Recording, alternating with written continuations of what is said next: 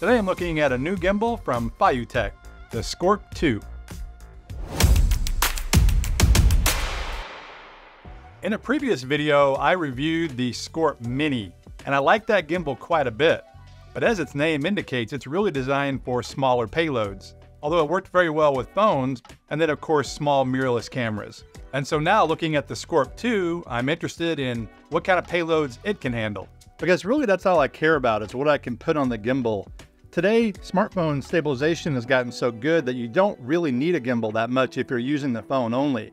But if I'm loading it up with a Beast Cage or a Beastgrip Pro and lenses and that kind of thing, then I want a gimbal that will carry that load. So again, for me, that's all I really care about beyond some of the special features that these gimbals offer.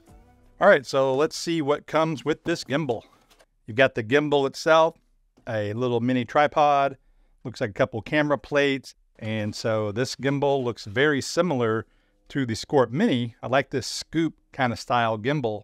But again, this one is for heavier payloads. And so I've already set this up and I've got it balanced. I'm using a Beastgrip Pro and an iPhone 15 Pro Max, and I'm using a Sandmarc case. It's a pretty basic setup, but on these larger gimbals, I like to use a cage or a rig of some kind just to give the phone a little more weight because this particular gimbal holds five and a half pounds approximately, 2.5 kilograms. And so a phone on there is almost a little bit too light if you're just using a small little phone tripod mount. And so putting the Beastgrip on there really makes it easier to use, but then it also balances easier. And right now, the gimbal is off and you can see how nicely that is balanced. I'm actually pretty surprised. That balanced really well and it was really easy to balance. Let me turn it on. And there it goes. It lifts it right up, of course, because it was already pre-balanced. And this thing moves around no problem whatsoever. This gimbal might be my new favorite of what I call hybrid gimbals. The one I've used for the last several years that I still recommend and like quite a bit is the Zhiyun Crane M3, and I've got it right here. And you can see the difference in size, just a different style too. This one has this rear handle that I like quite a bit because you can go into low mode real easily, and it also just offsets things when you're shooting. You can shoot with two hands, and it makes it a little bit less tiring. But this gimbal's still great it's more of a traditional, straightforward gimbal. This one is a little more of a unique design, but this one now holds a little more weight than that one, and it popped this rig up super easily. And so I'll let you know by the end of this video, this is my new favorite hybrid gimbal. And while I'm here, just for comparison's sake, I mentioned the Scorp Mini at the beginning, and this is the Scorp Mini. Reviewed this previously, and as you can tell, it's very similar to this one. It's just designed for much smaller cameras or smartphone only. But again, it's very similar in design and functionality, but the payload on this is much lighter. But this is still a really nice gimbal for smaller setups. But if you have a bigger setup, a Pro Max type phone, and you wanted to use a cage or any kind of additional accessories like lenses, etc., then these hybrid gimbals are really the way to go.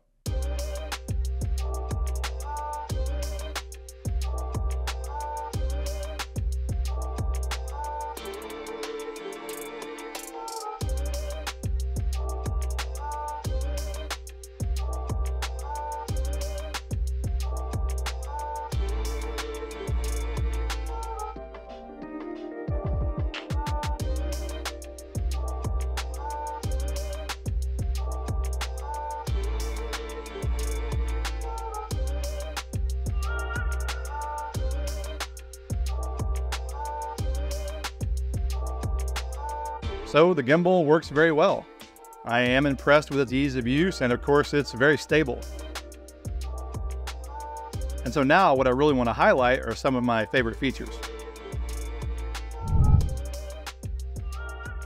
FeiyuTech has a really nice app that goes with this gimbal. However, if you're using your phone as your camera, it doesn't really make sense to use it to control the gimbal, obviously because you're shooting with the phone. Although you could do setup that way, but the app UI doesn't turn vertical, so you'd have to actually turn your phone to make it work. But the good news is pretty much everything I can see actually works on the menu control of the handle as well. So you can pick whether you want it to be pan follow or FPV mode or lock mode, etc. Then you can do, again, every setting that's in the app. You can check the motors, you can do an auto tune of the motors. You got these different scenarios, whether you're shooting a time lapse or a panorama, that kind of thing. And if you had a camera connected, like a traditional camera, you could control the different camera settings here as well.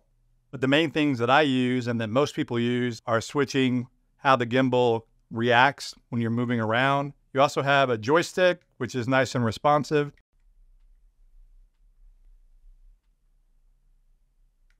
You can also set the speed for this type of movement.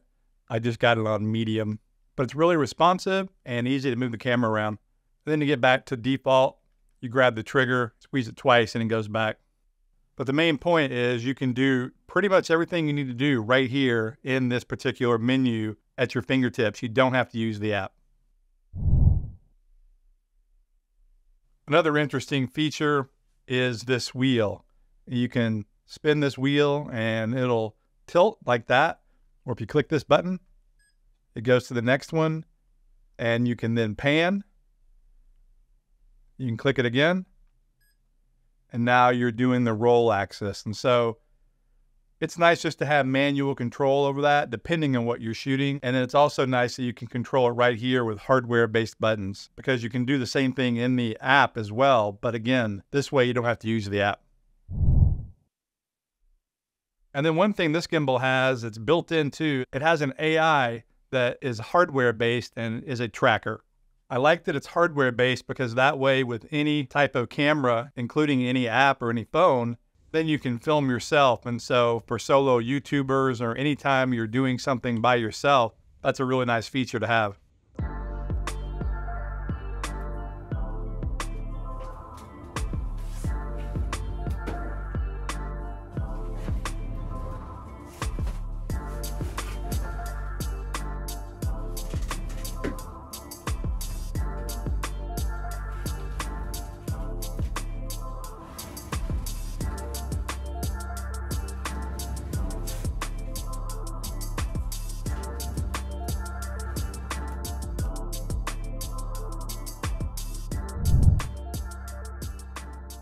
Pretty cool thing they've added as well is you can pull down here on the back handle and you've got two little legs and these things are hard to pull down, which is good.